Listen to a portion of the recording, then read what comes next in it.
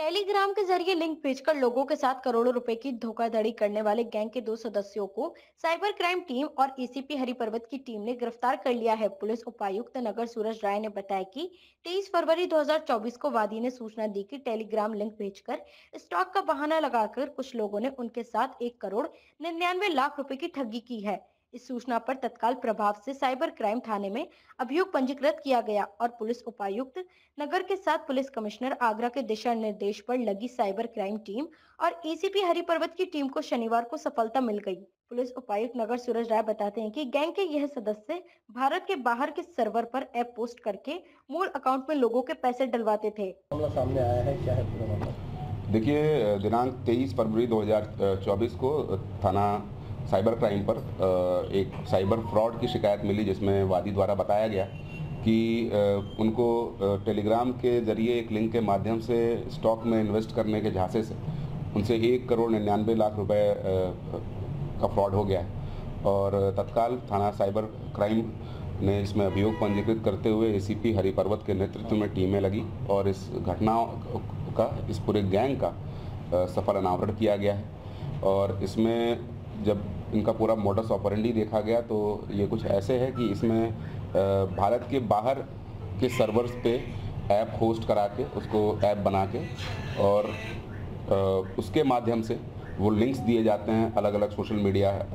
पे और उन लिंक्स से पैसे ट्रांसफ़र करा लेते हैं किसी तरह का लालच देकर और उन पैसों को बहुत सारे म्यूल अकाउंट्स में सर्कुलेट करा दे देते हैं। पुलिस उपायुक्त नगर सूरज राय का कहना है कि गैंग के दोनों सदस्य कानपुर के रहने वाले हैं जिसमें एक बैंक का कर्मचारी शामिल है और एक आरोपी वह है जो लोगों के अकाउंट खुलवाता था। दोनों आरोपियों को फ़िलहाल हिरासत में ले लिया गया है। साथ ही साथ पुलिस ने विवेचना के दौरान पाया है कि 42 अकाउंट ऐसे हैं जिनमें 6 करोड़ से ज़्यादा धनराशि को फ्रीज किया गया है।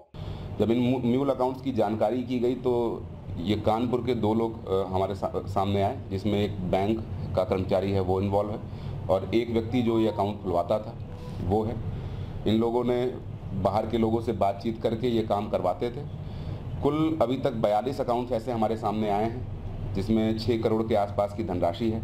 उसको फ्रीज करा दिया गया है, इनके पास से दो मोबाइल फ़ोन बरामद हैं और इन दोनों व्यक्तियों की गिरफ्तारी कर ली गई है, जो गैंग में अन्य लोग हैं। उनको भी चिन्हित कर लिया गया है। शीघ्र ही उनकी गिरफ्तारी की जाएगी। इस गुड वर्क के लिए इस पूरी पुलिस टीम को पच्चीस हज़ार रुपये का कैश रिवॉर्ड भी दिया जा रहा है और आवश्यक विवेचनात्मक कार्रवाई करते हुए दोनों अभियुक्तों को मान्य न्यायालय के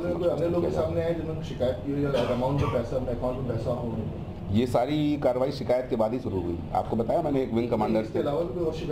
बिल्कुल क्योंकि जो धनराशि गई है उससे ज़्यादा धनराशि फ्रीज हुई है।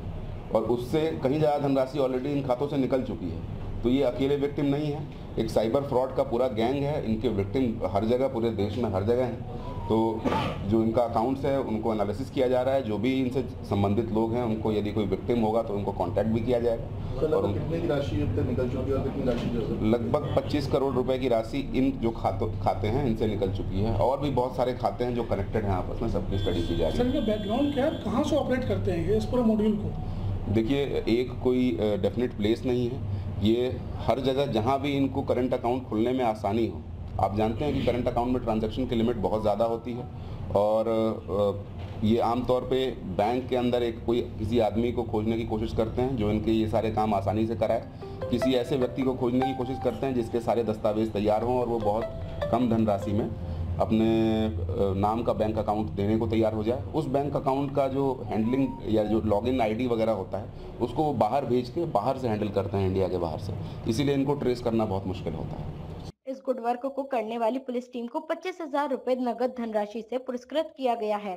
पुलिस अधिकारियों का दावा है कि जल्द ही गैंग के अन्य सदस्यों को भी गिरफ़्तार कर लिया जाएगा। डीजी महाराजा न्यूज़ के लिए प्रशांत कुलश्रेष्ठ की रिपोर्ट।